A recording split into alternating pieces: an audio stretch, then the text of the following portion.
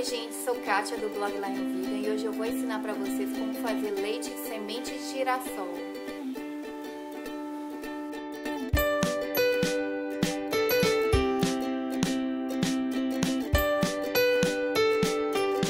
Para fazer o leite de girassol, vamos precisar de uma xícara de semente de girassol, 500 ml de água Coloque as sementes de girassol em uma vasilha, cubra com água e deixe-as durante 6 a 8 horas na geladeira.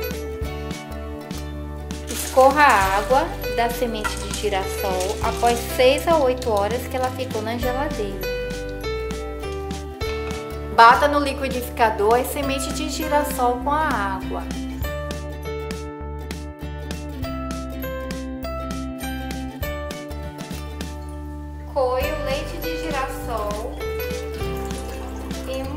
Peneira ou coador.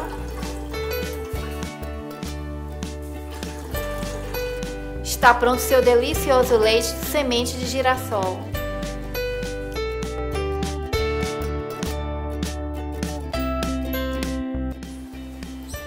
Quiser saber mais sobre esse leite e outros leites vegetais, clique no link que tem na descrição desse vídeo, que eu fiz um vídeo especial onde eu apresento meus leites vegetais preferidos, como eu utilizo cada um e os benefícios. Se gostou desse vídeo, dê um joinha, compartilhe com os amigos e se inscreva no canal.